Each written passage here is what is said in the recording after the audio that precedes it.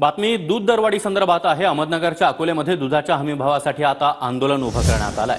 दुधाला चाळीस रुपये हमीभाव मिळावा अशी दूध उत्पादकांची मागणी आहे. अकोले तालुक्यातील कळस गावामध्ये रास्ता रोको आंदोलन करण्यात आलंय.